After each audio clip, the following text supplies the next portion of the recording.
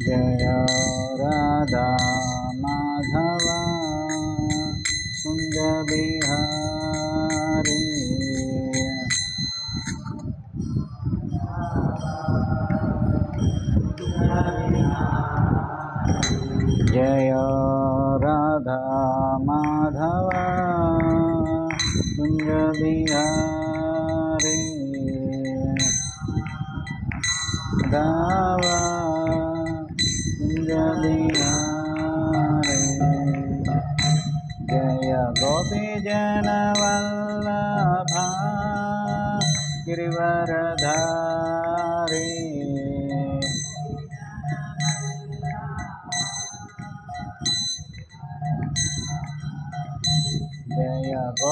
जनवल्लभा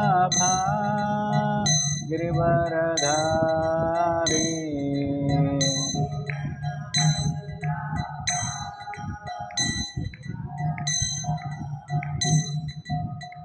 यशोदानन्दन व्रज जनरञ्जन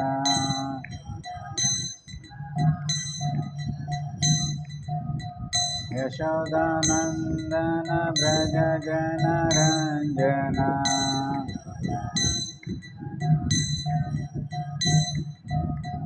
यमनतीरावनचारी।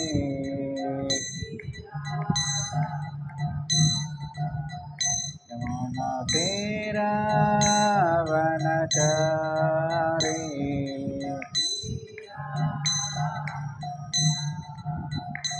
जय राधा माधव बिहारी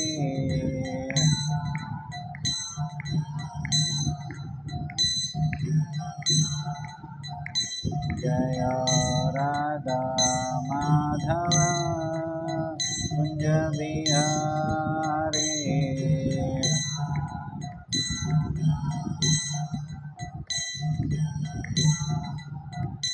जय गोपी जनवल्लभा। गिरिवरधारी।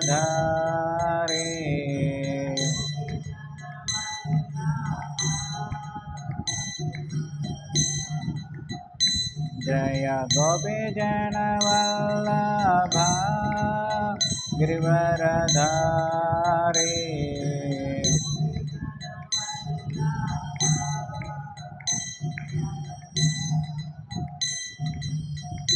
यशोदनन्दन व्रज जनरञ्जना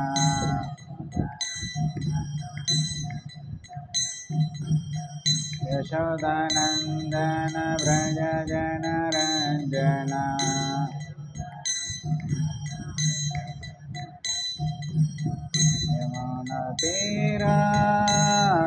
यमुनतीरावनचारी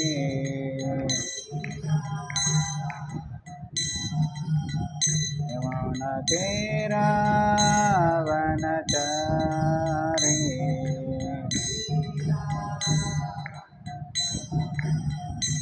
हरे कृष्ण हरे कृष्ण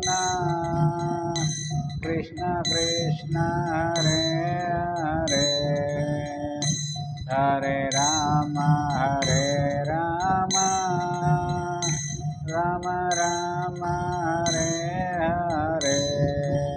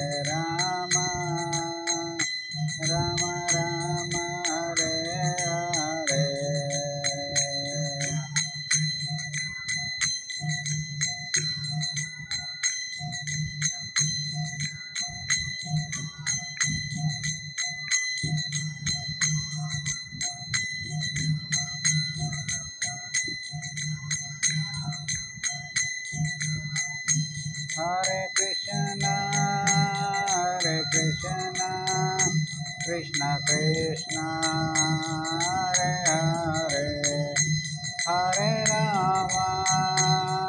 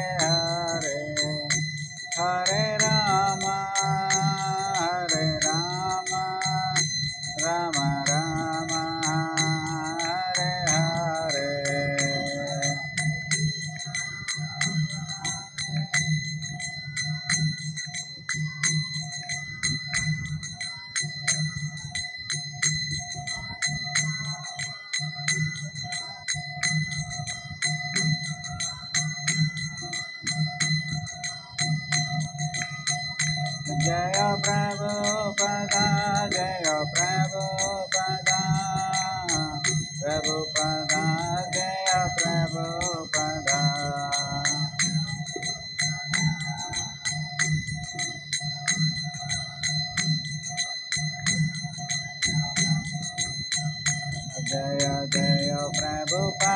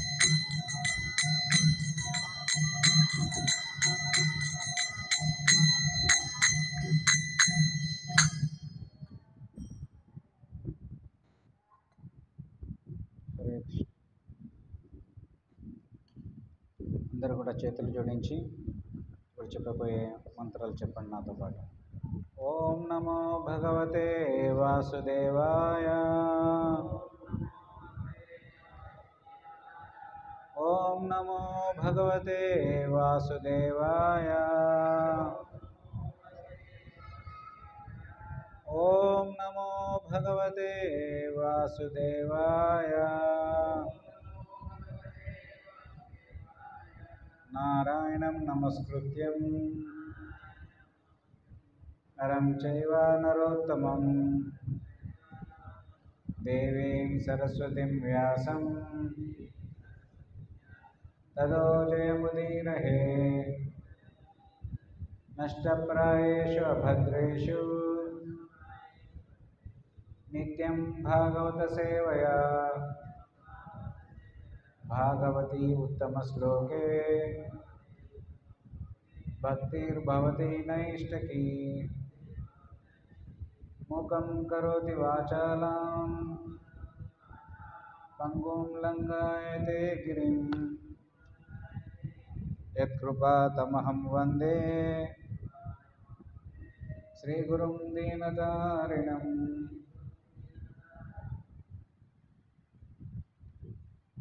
భగవద్గీత యథాతథము. అధ్యాయం మూడు శ్లోకం రెండు.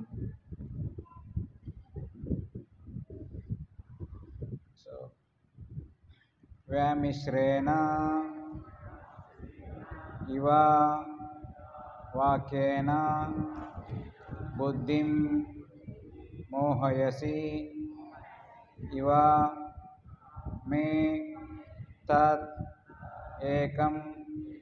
वद निश्चित्य येय श्रेयः अहम्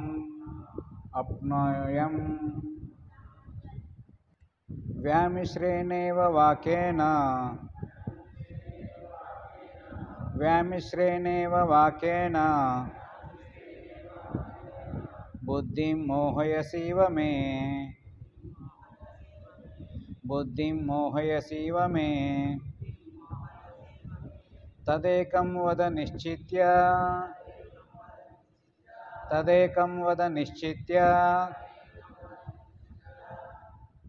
येन श्रेयोपमुण्यपम् येन श्रेयोः माप्नुयाम् వ్యామిశ్రేణ అనేక అర్థములు కలిగిన ఇవ నిజముగా వాక్యేన వాక్కులచే బుద్ధిం బుద్ధిని మోహయసి మోహింపచేస్తున్నావు. ఇవా వలె మే నా యొక్క తత్ అందుచే ఏకం ఒక్కటే వద దయతో తెలుపుము. నిశ్చిత్య నిశ్చయించి ఏనా దేనిచేతనైతే శ్రేయ నిజమైన శ్రేయస్సును అహం నేను ఆప్నుయాం పొందుదును.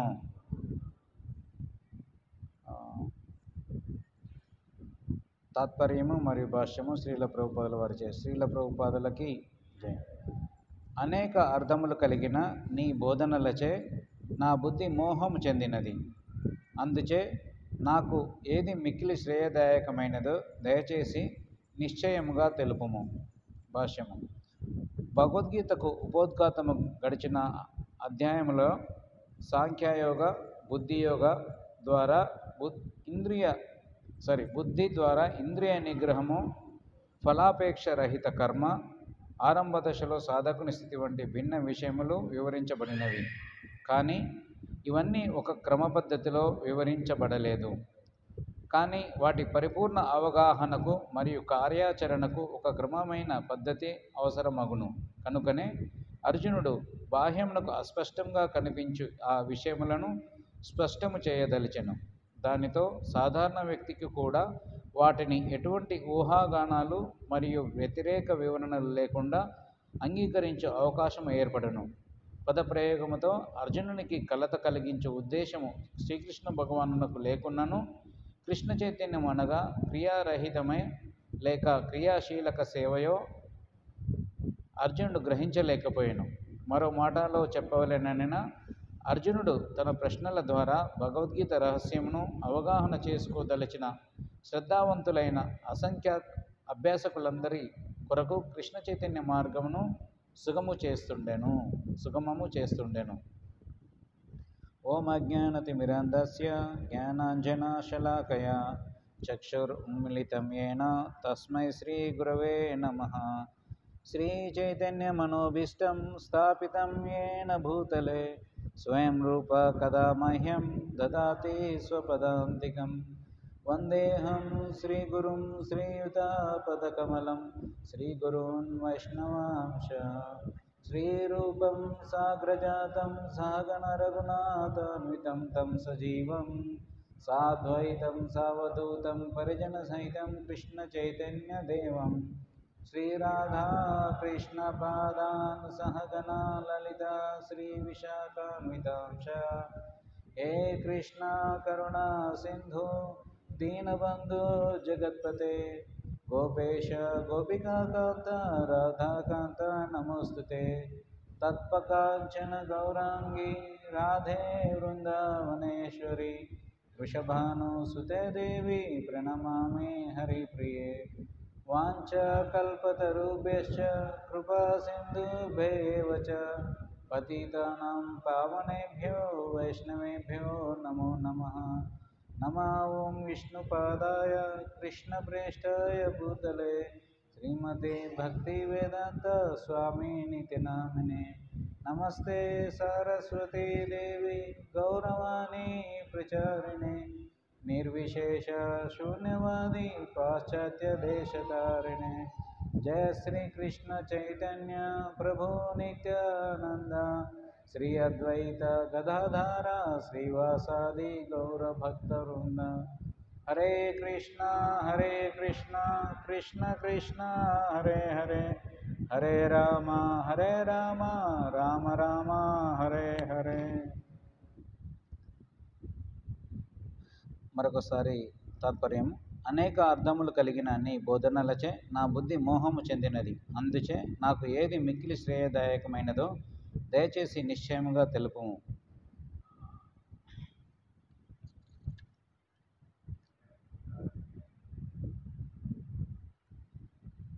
సో హరే కృష్ణ. ముందుగా ప్రతి వారం జరిగే భగవద్గీత యథాతథము ప్రవచన కార్యక్రమానికి ఈ ఆదివారం ఇస్కాన్ కాకినాడ తరపున మీ అందరికీ కూడా స్వాగతం పలుకుతున్నాం. సో మనం క్రిందటి వారం మొదటి శ్లోకాన్ని చర్చించుకున్నాం మూడవ అధ్యాయంలోని. సో అక్కడ అర్జునుడు ప్రశ్నిస్తున్నాడు అనమాట కృష్ణుణ్ణి. ఓ జనార్దన ఓ కేశవ కామ్యకర్మం కంటేను బుద్ధియే ప్రశస్తరమని నీవు భావించినచో నన్ను ఎందుకు ఇట్టి ఘోరమైన యుద్ధమును వినియోగించగోరుచున్నావు? అనేసి ప్రశ్నించాడు అనమాట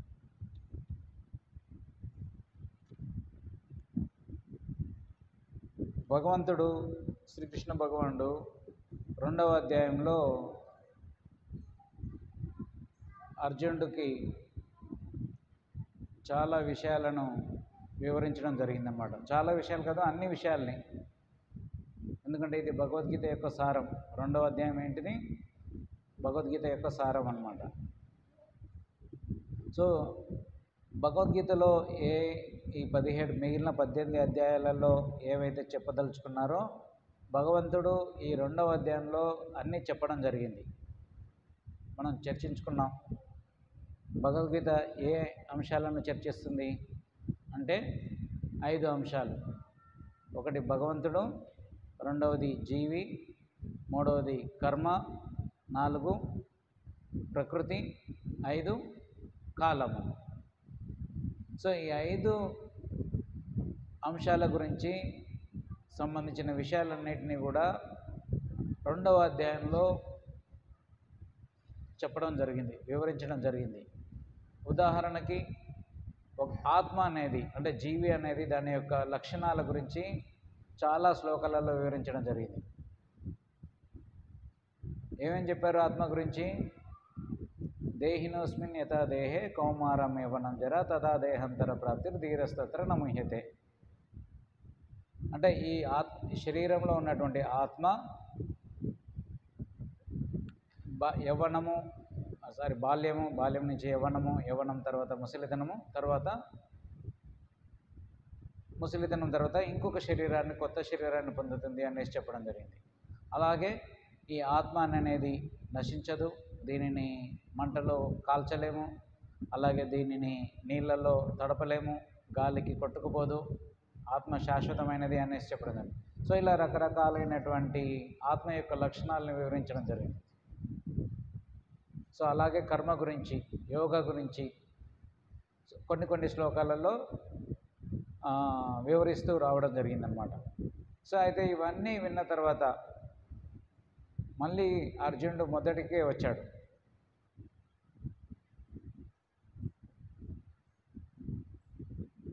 ఈరోజు ఏమని ప్రశ్నిస్తున్నాడు అర్జునుడు? కృష్ణుణ్ణి. నాకు ఇవన్నీ చెప్పావు కానీ మళ్ళీ నాకు ఈ అనేక అర్థాలు ఉన్నాయి. మనం అందుకే అన్నమాట భగవద్గీతలో చదివినప్పుడు కానీ లేకుంటే భగవద్గీతను విన్నప్పుడు కానీ ఒక్కొక్కరు ఒక్కొక్క భావాన్ని చెప్తా ఉంటారు. కదా? ఎవరికి తోచింది? వాళ్ళు చెప్తూ ఉంటారనమాట సో యోగా పద్ధతి చేసేవాళ్ళు ఈ భగవద్గీతలోని ఆ, యోగ గురించి చెప్ భగవద్గీతలో పలానా శ్లోకాలలో యోగ గురించి వివరించడం జరిగింది అని అనేసి ఆ అంశాలను మాత్రమే చెప్పడం జరుగుతుంది. అష్టాంగ యోగం సంబంధించిన విషయాలు. తర్వాత కొంతమంది ప్రకృతి త్రిగుణాల గురించి వివరించడం జరుగుతుంది. అంటే సత్వగుణం ఉంటుంది రజోగుణం ఉంటుంది తమోగుణం ఉంటుంది అనేసి. ఇది పద్నాలుగో అధ్యాయంలో మొత్తం పద్నాలుగో అధ్యాయం మొత్తం కూడా ఈ త్రిగుణాల గురించి వర్ణించడం జరిగింది. ఆ తర్వాత పదహారవ అధ్యాయము దైవాసుర సంపత్తి యోగము. అంటే భక్తుల లేదా దేవతల యొక్క లక్షణాలు అసురుల యొక్క లక్షణాలు వీటి గురించి చర్చించడం జరుగుతుంది. తర్వాత ధ్యాన యోగం గురించి ఆ ధ్యాన యోగం ఎలా చేయాలి మొదటగా ఒక ప్రశాంతమైన ప్రదేశంలో కూర్చోవాలి. తర్వాత దానికి ఎత్తుగా ఉన్నటువంటిది కాకుండా మరీ తక్కువ సీటు వేసుకునే కూర్చునే ప్రదేశంలో మరీ ఎత్తుగా ఉండదు మరీ తక్కువగా ఉండొద్దు. తర్వాత ఒక జింక చర్మాన్ని వేసుకోవాలి. దా పూసా గ్రాస్ వేసుకోవాలి. ఆ తర్వాత కళ్ళు పూర్తిగా మూయొద్దు. కళ్ళు కొంచెం తెరిచి ఉంచుకోవాలి. తర్వాతకి నాసికాగ్రాన్ని చూడాలి. ఆ తర్వాత అష్టాంగ యోగం గురించి చర్చించినప్పుడు యోగ పద్ధతిలో యమ నియమ ప్రత్యాహార ధారణ ఆసన ఇలా అన్ని విషయాల గురించి చర్చిస్తూ ఇంకా ముందు ముందు వస్తాయన్నమాట. ఈ యమ అంటే ఏంటి? అంటే మనం ఏమేం చేయాలి? ఏమేం చేయకూడదు? యమ నియమాలు అనమాట తర్వాతకి ఆహార ప్రత్యాహార ధారణ ఇవన్నీ పాటించగలిగితే అప్పుడు మనం యోగా చేయొచ్చు అనమాట అంటే రోజు చేస్తుంటారు కదా ఏంటివి? ఆ, ప్రాణాయామ కానీ లేకుంటే ఇంకా వేరే వేరే ఆసనాలన్నీ కూడా చేయాలంటే ఫస్ట్ యమ నియమాన్ని పాటించాలి. డైరెక్ట్గా వెళ్ళేసి నేను యోగాసనాలు వేస్తానంటే కుదరదన్నమాట. దానికి ముందేం ఏం తెలుసుకోవాలి? అసలు యమ ఏంటి? అంటే మనం ఏమేమి చేయాలి? నియమాలు ఏమేమి చేయకూడదు? వాటి గురించి తెలుసుకోవాలి. సో అవన్నీ తెలుసుకోవడం వాటిని పాటించడం తర్వాతకి దాన్ని రెగ్యులేటెడ్ చేసుకోవాలన్నమాట. అంటే నియంత్రించుకోగలగాలి. తర్వాతకి ధారణ తర్వాతకి ఆసన. ఐదవ స్థాయిలో వస్తుందన్నమాట ఆసనాలు అనేవి అంతేగాని ఏమీ చేయకుండా డైరెక్ట్గా ఆసనాలు చేయాల చేస్- చేయడం ప్రారంభించామనుకోండి దానివల్ల మళ్ళీ నెగటివ్ ఎఫెక్ట్ అనేది వస్తుందన్నమాట.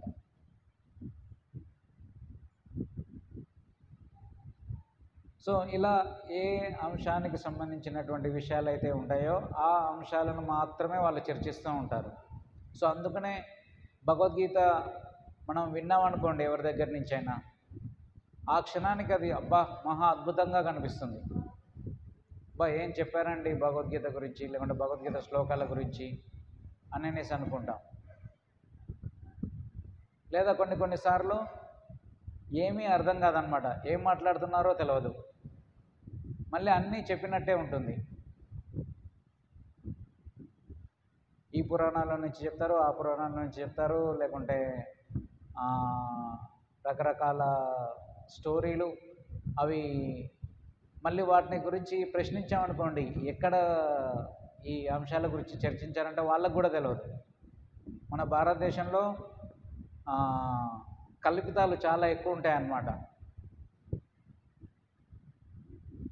అవి ప్రామాణికమైన అనేవి తెలియదు అనమాట వాటి యొక్క ప్రామాణికత అనేది. ఎందుకంటే ప్రతి ఒక్కరూ ఈ విషయం గురించి మాట్లాడే వాళ్ళే. చాలా స్టోరీలు వర్ణిస్తూ ఉంటారు. నారదుల వి- విషయంలో కానీ లేకుంటే ఇంకా ఆచార్యుల విషయంలో కానీ గురువుల విషయంలో కానీ లేకుంటే మన ఇంద్రుడి గురించి వేరే వేరే ఋషుల గురించి మునుల గురించి సంబంధించిన విషయాలు సంబంధించినటువంటి కథలు చాలా చెప్తూ ఉంటారన్నమాట. కానీ వాటిలలో మనకి ప్రామాణికత అంటే అవి ఏ పురాణాలలో ఉన్నాయి అని ఖచ్చితంగా అడిగితే వాళ్ళకు కూడా తెలియదు అనమాట చాలా వరకు స్టోరీలు ఏదో కల్పితాలుగా ఉంటాయి.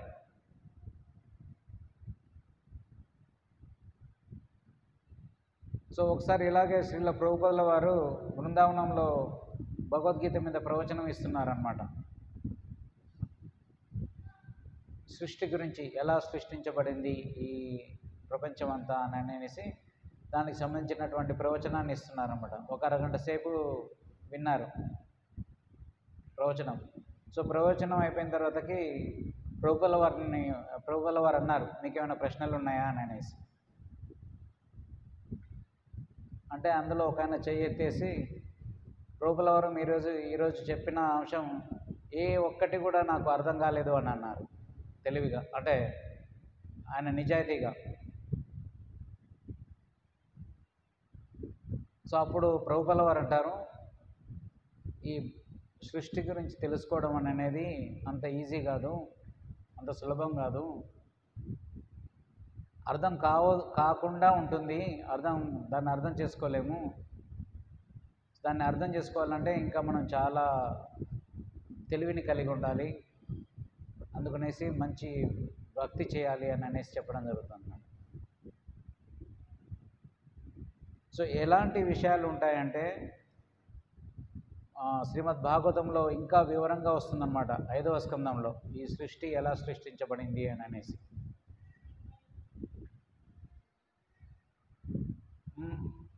ఈ భూమి మేరు పర్వతం ఉంటుంది.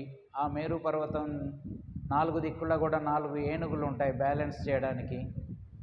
తర్వాత ఇక్కడి నుంచి ఇంత ఇన్ని క్రోస్ల దూరం వెళ్తే అక్కడ ఇంకొక ద్వీపం వస్తుంది. ఇటువైపు ఇంకొక ద్వీపం వస్తుంది. తర్వాత దానికి ఈ భాగాన బ్రహ్మదేవుని యొక్క ప్రదేశం ఉంటుంది. కైలాసం ఇక్కడ ఉంటుంది. అనేసి అది చదువుకుంటూ వెళ్ళామనుకోండి మొత్తం సంఖ్యలే కనిపిస్తూ ఉంటాయి.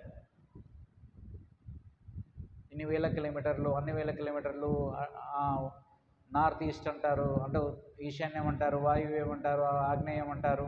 సో ఇవన్నీ రకరకాలుగా చెప్తూ ఉంటారన్నమాట.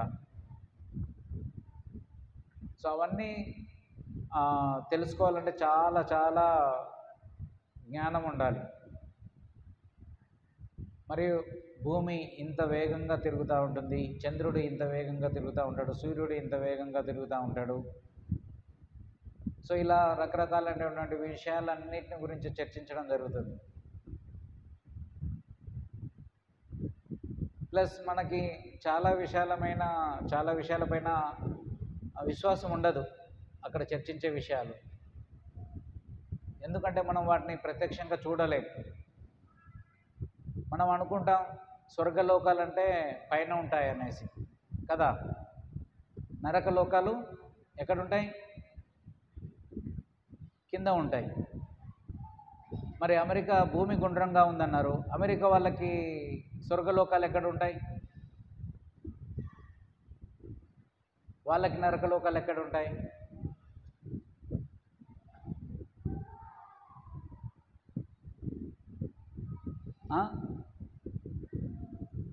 వాళ్ళకి కింద ఉన్నది మనకి పైన మనకి పైన ఉన్నది వాళ్ళకి కింద. అంటే రెండు చోట్ల ఉంటాయా స్వర్గలోకాలు? లేదా నరకలోకాలు రెండు చోట్ల ఉంటాయా? సో ఇవన్నీ కూడా మన ఈ చిన్న బుర్రకి ఎక్కవు. మనం అర్థం చేసుకోలేము. ఎందుకంటే మనకు ఓన్లీ ఒక వైపు ఒక కోణంలో మాత్రమే తెలుసు ఆలోచించగలం లేకుంటే ఒక కోణంలో మాత్రమే మన మైండ్ అర్థం చేసుకునే కెపాసిటీ ఉంటుందన్నమాట.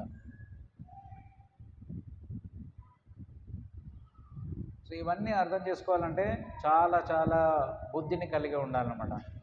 సో ఇక్కడ మళ్ళీ ఈ శ్లోకంలో కృష్ణుడు అంతకుముందు రెండవ అధ్యాయంలో అన్ని విషయాల గురించి చెప్పాడు. ఇవన్నీ విషయాల గురించి. జ్ఞానయోగము ధ్యానయోగము సాంఖ్యాయోగము సాంఖ్యయోగము తర్వాతకి భక్తి యోగము నిష్కామ కర్మ తర్వాత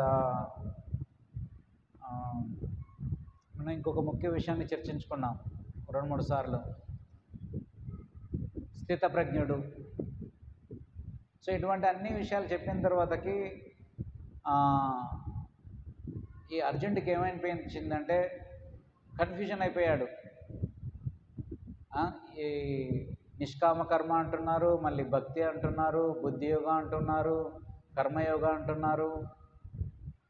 మళ్ళీ వీటన్నిటిని గురించి తర్వాతకి ఇంకా వస్తుందన్నమాట రాను వచ్చే శ్లోకాలలో. సో వీటిని అన్నిటికీ నువ్వు ఏ మార్గంలో వెళ్ళినా కానీ చివరికి ఎక్కడికి తెలుసుకుంటావు? భగవంతుని గురించి తెలుసుకుంటావు అని అనేసి. కాకపోతే వాటికి ఎంతో సాధన చేయాలి ఎంతో పరిశ్రమ చేయాలి. కొన్ని కొన్నిసార్లు ఆ మార్గంలో ప్రయాణించేటప్పుడు మనం అక్కడే ఆకర్షితులు అయిపోయేసి ఇంకా ముందుకు వెళ్ళలేకపోవచ్చు. సపోజ్ ఒక పెద్ద భవంతి ఉంది బిల్డింగ్ ఉంది అది ఒక పది అంతస్తుల బిల్డింగ్. మనం పదో అంతస్తుకు వెళ్ళాలి. మెట్లు ఎక్కుతూ వెల్ వెళ్తున్నాం. సో ఒక నాలుగో అంతస్తుకు వెళ్ళగానే అక్కడ చూడగానే అక్కడ మనం మనకి కళ్ళకి లేదా మనకి చెవులకి చాలా ఆకర్షణ కనిపించేవి ఉన్నాయనుకోండి. ఏం చేస్తాం? అక్కడే ఆగిపోతాం. ఉదాహరణకి షాపింగ్ కాంప్లెక్స్. ఆ బిల్డింగ్లోకి వెళ్ళిపోతాం. ఒక్కొక్క అంతస్తులోకి చూసుకుంటూ వెళ్తాం. సో ఎక్కడైనా మంచిగా అక్కడ మన దగ్గర డబ్బు లేకపోయినా కానీ కొనలేకపోయినా కానీ బా ఇక్కడ చాలా బాగున్నాయి అని అనేసి ఆ ఫ్లోర్లోనే అన్నీ తిరిగి చూస్తూ ఉంటాం. సో ఇలాగే ఈ భౌతిక ప్రపంచంలో కూడా అలా ఉంటుందన్నమాట. మనం ఇక్కడ నుంచి ఈ భూమండలం నుంచి ఇంకొక వేరే ప్రదేశానికి వెళ్ళామనుకోండి అక్కడ చాలా ఆకర్షణీయంగా ఉంటుంది. సో మనం యోగా పద్ధతి చేసి చేయడం ద్వారా అలా అక్కడికి వెళ్ళాం. ఆ ప్రదేశానికి వెళ్ళాం. సో అక్కడ వెళ్ళిన తర్వాతకి అబ్బా ఇక్కడ మంచిగా ఉంది కష్టాలు లేవు మనకి కావలసినటువంటి వసతులన్నీ ఉన్నాయి అనేసి ఎక్కువ శాతం మంది ఏం చేస్తారు? అక్కడే ఉండిపోతారనమాట చివరికి మనం చేరుకోవాల్సిన అంతిమ లక్ష్యాన్ని మర్చిపోతాం. సో ఇప్పుడు అర్జునుడు కూడా అదే అడుగుతున్నాడు అనమాట ఇవన్నీ చెప్పావు ఇవన్నీ తెలియజేశావు కానీ నాకు శ్రేయస్సు కలిగేది ఏంటిది? నేను ఏం చే ఏ పని చేయాలి?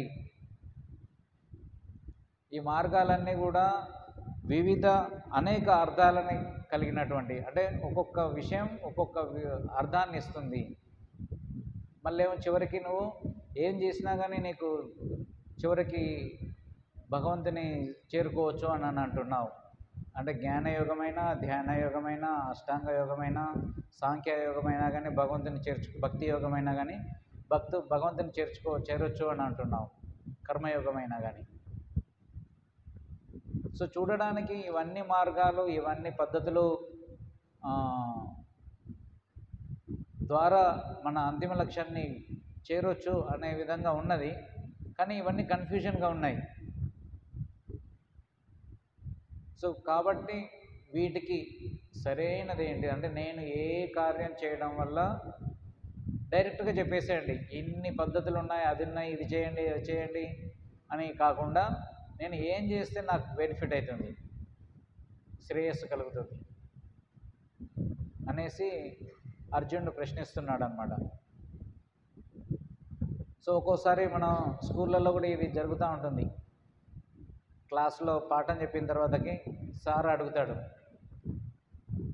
ఈ నీకు ఇది అర్థమైందా? అని అనేసి. లేదు సార్ మళ్ళీ చెప్పండి వివరించేటట్టు అని అనేసి వివరంగా. కదా? కొన్ని కొన్నిసార్లు మనకి అర్థం కావు కొన్ని కొన్ని కాన్సెప్ట్స్. కొన్ని కొన్ని విషయాలు మనకి తెలియదు రెండు సార్లు లేపినా మూడు సార్లు అయిపోయినా కానీ అది ఎక్కదు. సో అప్పుడు ఏం చేస్తాం? మళ్ళీ చెప్పండి మళ్ళీ చెప్పండి అనేసి ఒకటికి నాలుగు సార్లు చెప్పించుకుంటాం.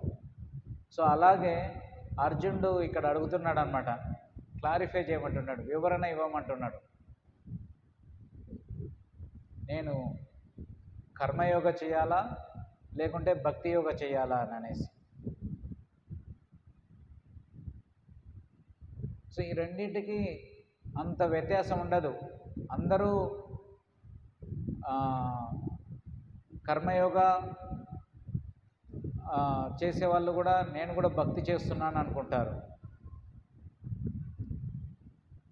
కానీ ఆ కర్మయోగంలో ఏమవుతుందంటే వాళ్ళ యొక్క ఇంద్రియాల కోసమే వాళ్ళు పనులు చేస్తూ ఉంటారనమాట వాళ్ళ ఇంద్రియాల్ని తృప్తిపరచుకోవడానికి.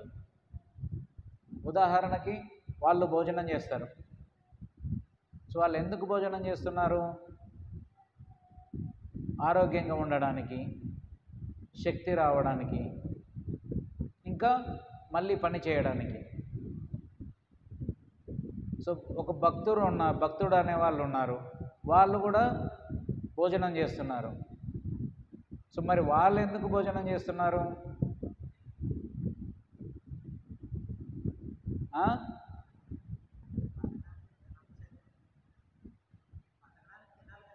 బ్రతకడానికి తినాలి. కానీ వాళ్ళ యొక్క ఆలోచన విధానం ఎలా ఉంటుందంటే భగవంతునికి ఇప్పుడు వచ్చిన శక్తి వల్ల భగవంతునికి ఇంకా ఎలా సేవ చేయాలి అనే ఆలోచన ఉంటుందన్నమాట. ఆ వ్యత్యాసం తెలుసుకోవాలి. కర్మలు ఎన్- అనేవాళ్ళు వాళ్ళ ఇంద్రియ తృప్తి కోసం చేస్తూ ఉంటారు. భక్తులు అనేవాళ్ళు అదే కార్యాన్ని భగవంతుని సంతృప్తిపరచడానికి చేస్తూ ఉంటారనమాట ఏ కార్యమైనా తీసుకోండి. భక్తులు కూడా ఉద్యోగాలు చేస్తున్నారు. వాళ్ళని అడిగారు అనుకోండి మీరు ఎందుకు ఉద్యోగం చేస్తున్నారు? అని అనేసి. సో వాళ్ళు ఇచ్చే సమాధానం ఏంటిది? భగవంతునికి సేవ చేసుకోవడానికి ఈ ఉద్యోగం చేస్తున్నాం అని అంటారు. సో మీరు అనొచ్చు ఈ ఉద్యోగం చేయడం వల్ల వాళ్ళు ఎలా భగవంతుని సేవ చేస్తున్నారు అని అనేసి. ఎలా చేస్తున్నారంటే వాళ్ళు ప్రచారం చేయొచ్చు అక్కడ ఉండి. నలుగురిని కలవడం జరుగుతుంది. వారికి భగవంతుని గురించి వివరించడం జరుగుతుంది. లేదా వాళ్ళు సంపాదించే దాంట్లో కొంత ప్రచారం కోసం వాళ్ళ సంపాదించిన డబ్బుని వాళ్ళు దానం చేయడం. లేదా వాళ్ళే స్వయంగా ప్రచార కార్యాలు నిర్వహించడం. సో ఇలా రకరకాల కార్యాలు చేసే చేసే విధంగా వాళ్ళ జీవితాన్ని మలుచుకుంటారనమాట అదే కర్మలు అనుకోండి కేవలం వాళ్ళు వాళ్ళ యొక్క ఇంద్రియ తృప్తిని అంటే వాళ్ళకు ఉన్నటువంటి వాళ్ళ శరీరాన్ని లేకుంటే వాళ్ళకు ఉన్నటువంటి ఇంద్రియాన్ని వాళ్ళ కుటుంబాన్ని పోషించడం కోసం ఉద్యోగం చేస్తూ వాళ్ళ జీవితాన్ని గడుపుతూ ఉంటారు.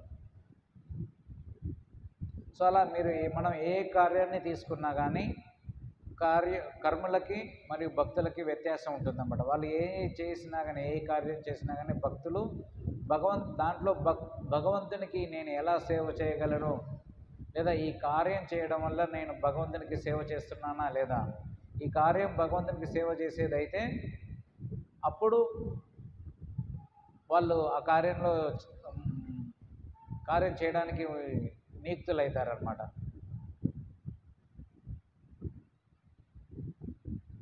ఏదైనా కనీసం భక్తి నేర్చుకోవడానికైనా ఉపయోగపడుతుంది. వాళ్ళు ఉద్యోగం చేస్తున్నారు. వచ్చినప్పుడల్లా ఆదివారం వచ్చి ఇక్కడ భగవద్గీత వినడం. సో అది కూడా భగవంతుని సేవలో ఉపయోగించినట్టే.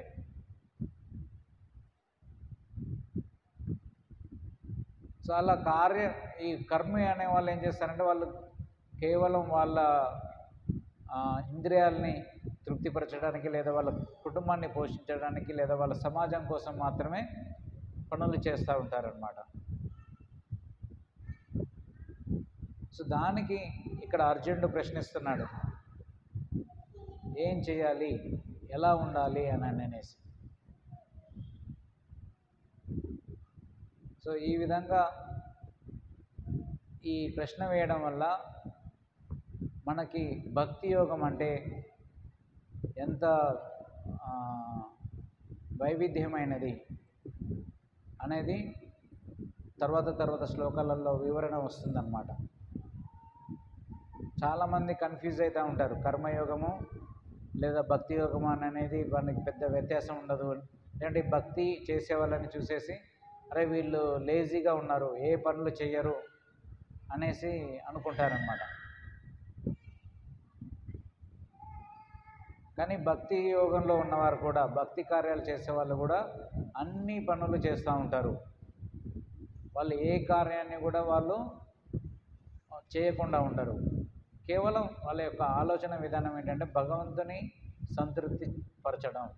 ఈ కార్యం చేయడం వల్ల భగవంతుడు సంతృప్తి పడుతున్నాడా లేదా అనేది ఆలోచన ఆలోచి ఆలోచిస్తూ ఉంటారన్నమాట.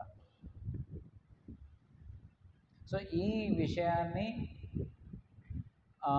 మనకి నిష్పక్షపాతంగా అర్థం చేసుకునే విధంగా అర్థం చేసే విధంగా లేదా మనకు తెలియజేసేందుకు అర్జునుడు ఈ ప్రశ్న వేయడం జరిగిందనమాట సో అందుకనే ఈ భగవద్గీత విన్నప్పుడు లేదా భగవద్గీత గురించి తెలుసుకున్నప్పుడు మనం ఏం కావాలి? ఏం కావాలి? భగవద్గీత చదివిన తర్వాత. ఒక భక్తుడుగా మారాలి. అని భగవద్గీత ఉపదేశిస్తుందన్నమాట. ఇప్పుడు వైద్యకి సంబంధించిన విషయాల గ్రంథాలు ఉన్నాయి పుస్తకాలు ఉన్నాయి అవి చదవడం వల్ల ఏమవుతాం డాక్టర్ అవుతాం అలాగే లాకు సంబంధించిన పుస్తకాలు ఉన్నాయి అవి చదవడం వల్ల ఏమవుతాం లాయర్. ఇంజనీరింగ్ సంబంధించిన విషయాలు ఉంటాయి. అవి చదవడంలో ఏమవుతాం ఇంజనీర్ కావాలి. సో ఏ విషయానికి సంబంధించిన పుస్తకాలు చదివితే అది చదివిన తర్వాతకి ఏం కావాలి? ఆ విషయానికి సంబంధించిన వ్యక్తిగా మార్పు చెందాలి. సో అలాగే ఈ భగవద్గీత చదివిన తర్వాతకి ఏం కావాలి? భక్తుడు కావాలి అని అనేసి కృష్ణుడు చెప్తున్నాడు అనమాట మన్మనాభవ మద్భక్తో మధ్యాజీ మాం నమస్కరు. అంటే మన్మనాభవ మద్భక్తో నా భక్తుడి కమ్ము అని అంటున్నాడు. నన్ను నమస్కరించు అని అంటున్నాడు. సో భగవద్గీత చదివినప్పుడు చదివిన తర్వాతకి మనం భక్తులుగా కావాలి. అది కాలేదనుకోండి. ఎవరిలో లోపం? భగవద్గీతలో లోపమా మనలో లోపమా? ఆ, మనది లోపం. కానీ ఆ భగవద్గీతలో ఈ భక్తి విషయాన్ని చెప్పలేదనుకోండి. భక్తి విషయం చెప్పకుండా మిగిలిన అన్ని విషయాలు చెప్పారనుకోండి అప్పుడేంటి ఎవరిలో లోపం? వేరే విషయాలు చెప్పారు కదా వాళ్ళలో లోపం అనమాట పేరుకు మాత్రం బయట ఏమని రంగేస్తున్నారు? భగవద్గీత అని రంగేస్తున్నారు. లేకుంటే ప్రవచనాలు ఇచ్చినప్పుడు ఇది భగవద్గీత ప్రవచనాలు అని అంటున్నారు. కానీ అది విన్న తర్వాతకి వాళ్ళు భక్తులుగా మారాలి. అది మారట్లేదంటే వాళ్ళు ఏదో సొంతగా కహానీలు అంటే సొంత కథలు చెప్పినట్టు.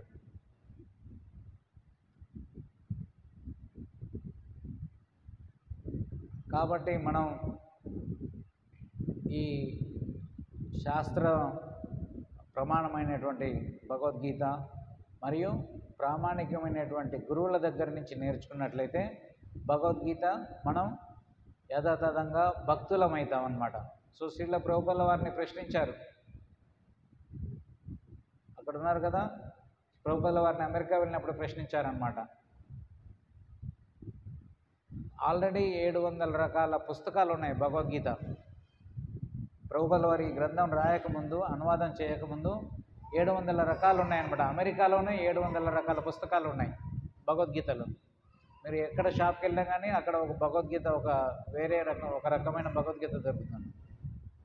సో ఒక ఆవిడ వెళ్ళి అడుగుతుంది. నేను ప్రభుపల వారు మా అమెరికా దేశంలో ఎన్నో రకాల భగవద్గీతలు ఉన్నాయి.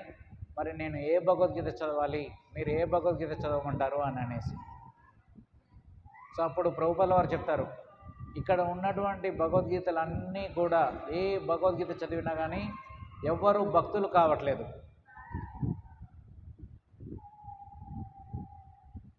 ఎవ్వరు కూడా కృష్ణుని యొక్క భక్తులు కాలేదు. సో కాబట్టి నాకు తెలిసినంత వరకు ఈ ఏ భగవద్గీత కూడా కృష్ణుడు ఉపదేశించినటువంటి విషయాల్ని చెప్పట్లేదు. సో అప్పుడు అందుకనే నేను ఈ భగవద్గీతలో కృష్ణుడు చెప్పినటువంటి విషయాన్ని యథాతథంగా తెలిసే తెలియజేసే ప్రయత్నం చేస్తున్నాను. దాని యొక్క ఆ ప్రయత్నం యొక్క రిజల్ట్ ఏంటంటే ఇక్కడ ఉన్నటువంటి వాళ్ళంతా కూడా ఈ భగవద్గీతను చదివి భక్తులుగా మారుతున్నారు అని అనేసి చెప్పడం జరిగిందనమాట సో మనం భగవద్గీత చదువుతున్నామంటే భక్తులుగా మారాలి. అదే బండ గుర్తు.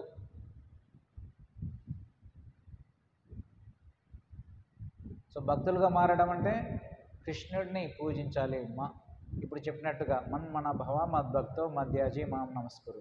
సో సో కృష్ణుని ప్రతిరోజు పూజించాలి. కృష్ణుని సంబంధించినటువంటి ఈ కృష్ణుని గురించి ఇంకా తెలుసుకోవాలి. భగవద్గీత భాగవతం రామాయణం ఇటువంటి మహాభారతం ఇటువంటి పురాణాలు గ్రంథాలు అన్నీ కూడా చదవాలి బాగా.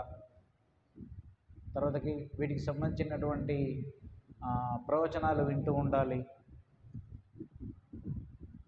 తర్వాత ప్రతిరోజు ఆచార్యులు చెప్పినట్టు విధంగా హరే కృష్ణ మహామంత్రాన్ని జపించడం పదహారు మాలలు దీక్ష తీసుకున్న వాళ్ళైతే పదహారు మాలలు జపం చేయడం.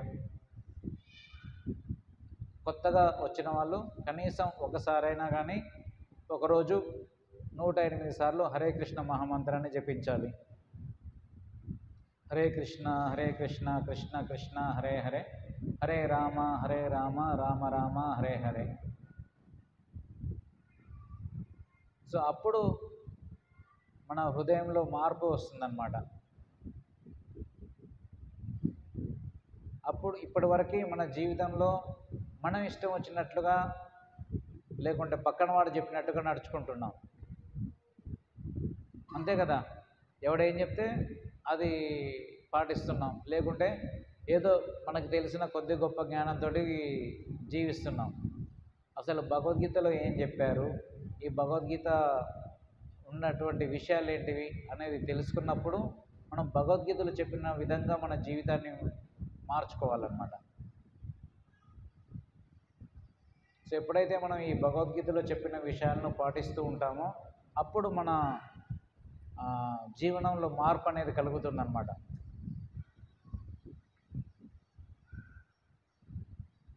అంతేగాని భగవద్గీత చదువుతున్నా కానీ అలాగే ఉన్నామనుకోండి అలా ఉండలేం. ఎందుకంటే ఇందులో చెప్పారు భగవద్గీతలో చెప్పారు కొన్ని కొన్ని విషయాలు. శుభ్రంగా ఉండాలి ప్రతిరోజు స్నానం చేయాలి అని అనేసి పొద్దున్నే సో అది పాటించడం కష్టమా? ఈజీ కదా. సో ఈ ఒక విషయాన్ని నేర్చుకున్నప్పుడు ఆ విషయాన్ని మనం పాటించాలి. సో ఇలా చాలా విషయాల్ని భగవద్గీత మన జీవితానికి ఉపయోగపడేటువంటి విషయాలన్నింటినీ కూడా ఈ భగవద్గీతలో చెప్పడం జరిగిందన్నమాట. సో ఇది విన్న తర్వాత వీటిలో ఉన్న విషయాల్ని మనం పాటించే ప్రయత్నం చేయాలి పాటించాలి.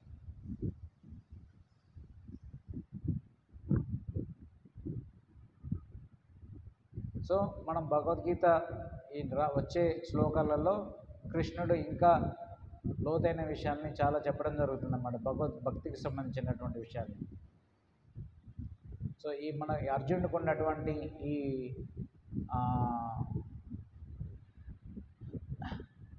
ఈ ఇతను ఇప్పుడు ఏమంటున్నాడంటే నా బుద్ధి మోహం చెందింది. అంటే బుద్ధిని క్లారిటీ లేదు. మనం చేసే విషయాల మీద లేదా మనం తెలుసుకున్న విషయాల మీద క్లారిటీ లేదు.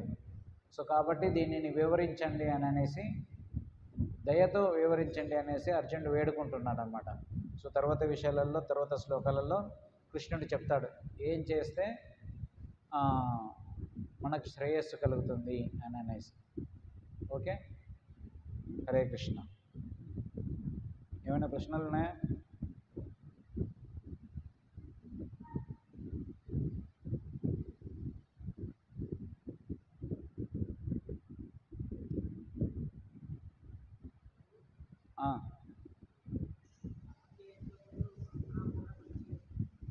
జపం చేసేటప్పుడు?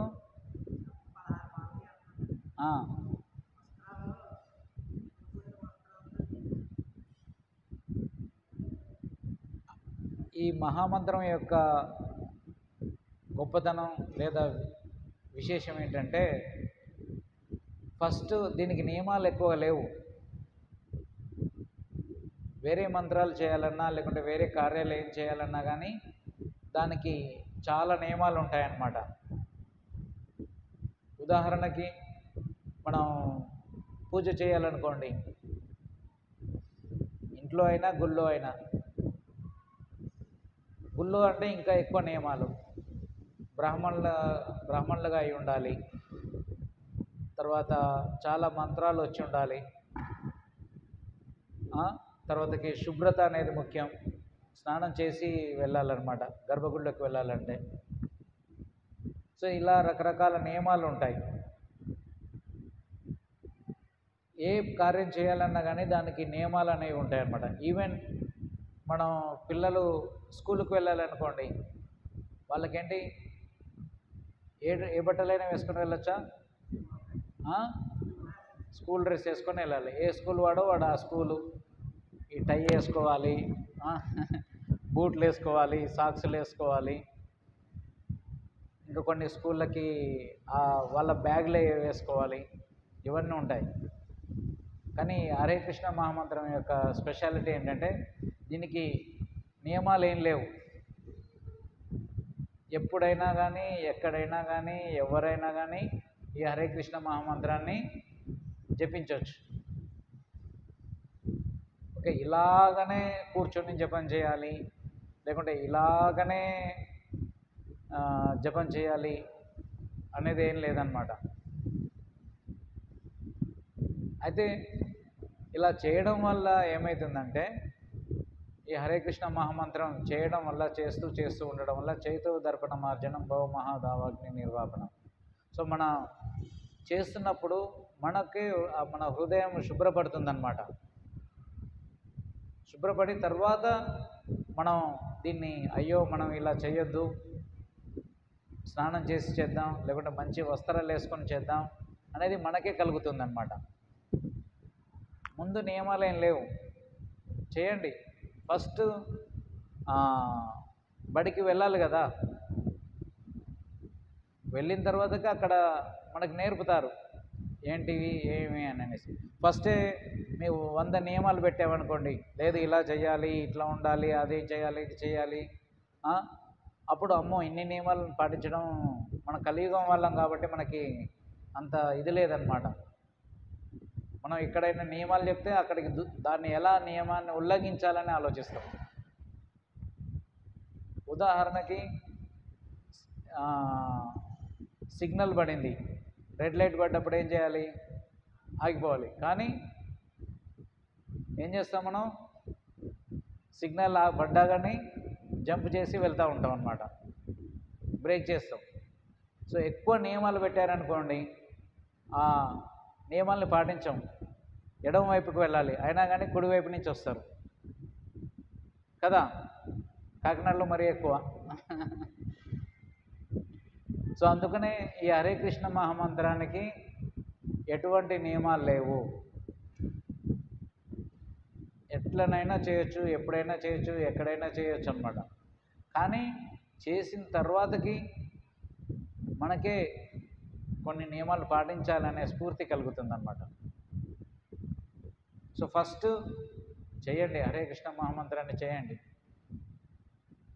చేసిన తర్వాతకి అప్పుడు నీకు అరే నేను ఇలా ఉండాలి అనే స్ఫూర్తి కలుగుతుంది. ఆ స్ఫూర్తితోటి ఉండండి. ఓకే? మేము కూడా తరచుగా అంటే మే మేమనే కాదు చా అందరు భక్తులందరూ కూడా తరచుగా ప్రయాణాలు చేస్తూ ఉంటారు. రైళ్ళల్లో తర్వాత బస్సులలో. అక్కడ స్నానం చేయడానికి కుదరదు. రోజంతా ప్రయాణం చేయాలి. సో అలా అనేసి మనం పదహారు మాలలు చేయకుండా ఉంటామా? పదహారు మాలలు చేయడం ముఖ్యమా? వేరే నియమాలు చూసుకుంటూ ఉండడం ముఖ్యమా? పదహారు మాలలు చేయడం ముఖ్యం అన్నమాట.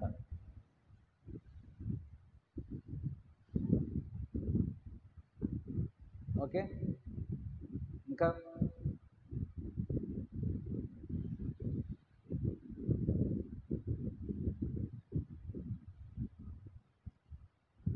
శ్రీమద్ భగవద్గీతకి జై. శ్రీల ప్రభుపాదకి జై. సో మీ అందరికీ కూడా ఒక చిన్న మనవి విజ్ఞప్తి. మనకి ప్రతి ఆదివారం మన కార్యక్రమం పన్నెండు గంటలకి భగవద్గీత ప్రవచనం ఆరంభం కావాలి. అంటే పన్నెండింటికి ఇక్కడ మనం జయరాధ మాధవ పాడాలి. కదా? పన్నెండు నుంచి రెండు గంటలని చెప్పుకున్నాం. అంటే పన్నెండింటికి ఇక్కడ జయరాధ మాధవ పాడాలి. ఒకటింటికి భగవద్గీత ప్రవచనం అయిపోవాలి. ఒకటిన్నరకి భోజనం. ప్రవచనం అయిపోయి ఆరతి అయిపోగానే భోజనం జరగాలి. సో రెండింటికి మీరు అందరూ కూడా తిరిగి వెళ్ళిపోవచ్చు. లేదనుకోండి మీరు రావడమే పన్నెండింటికి వచ్చారనుకోండి మేము నాలుగింటి దాకా ఇక్కడే ఉంచుకుంటాం మిమ్మల్ని.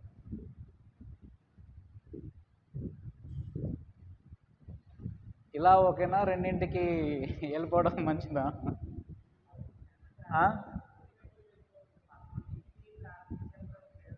ఆ? సో దయచేసి మీ అందరికీ చేసే విజ్ఞప్తి ఏంటంటే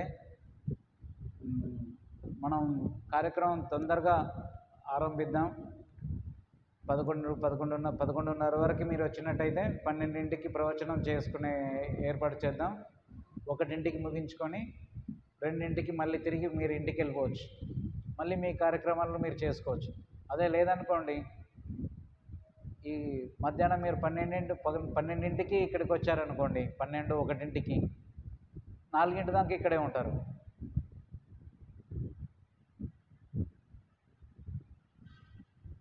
ఓకే? సో దయచేసి అందరూ పన్నెండింటికి పన్నెండు కంటే ముందు ఐదు నిమిషాల ముందు ఇక్కడికి రావాలన్నమాట. పదకొండున్నర పదకొండు. పదకొండు పదకొండున్నర వరకు ఇక్కడికి వచ్చారనుకోండి పన్నెండింటికి కరెక్ట్గా క్లాస్ ప్రారంభిస్తాం. ఎలాగూ గంట సేపే ప్రవచనం. కదా ఒకటింటి నుంచి మొదలు పెడితే రెండింటికి అయిపోతుంది. అదే పన్నెండింటికి మొదలు పెట్టామనుకోండి ఒకటింటికి అయిపోతుంది. సో మళ్ళీ మీరు మధ్యాహ్నం రెండింటి నుంచి రోజంతా సాయంత్రం ఎనిమిది వరకు మీకు సమయం ఉంటుంది. మళ్ళీ మీ నెక్స్ట్ వీక్ వచ్చే వారానికి కావాల్సినటువంటి కార్యాలు చేసుకోవడానికి.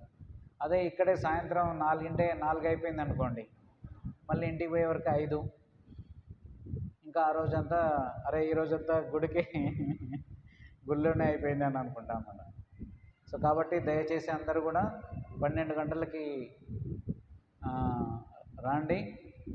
నెక్స్ట్ వీక్ నుంచి మీరు పన్నెండింటికి వచ్చినా రాకపోయినా మేము పన్నెండింటికి క్లాస్ స్టార్ట్ చేస్తాం. ఒకటింటికి ఆరతి ఒకటిన్నరకి ప్రసాదం అయిపోతుంది. రెండింటి తర్వాత క్లోజ్.